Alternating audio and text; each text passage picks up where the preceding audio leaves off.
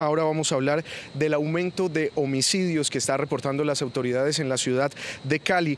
46% más se presentaron eh, que para este periodo con relación al año anterior. Dicen las autoridades que mayo cerró con 163 muertes violentas. El año pasado para esta misma fecha fueron en total 88 muertes las que se reportaron en la ciudad de Cali. Este aumento, dicen las autoridades, se debe a enfrentamiento entre pandillas, también a las situaciones de orden público que se han reportado en la ciudad de Cali y también a la intolerancia. Escuchemos al comandante de la Policía Metropolitana de Cali sobre este tema.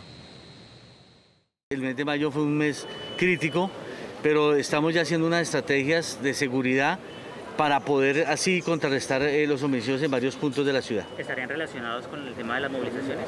Sí, hay algunos que están eh, relacionados con el tema de movilizaciones, hay algunos que están relacionados ya entre el tema de ajustes de cuentas entre bandas delincuenciales de esos barrios y eso lo estamos ya investigando.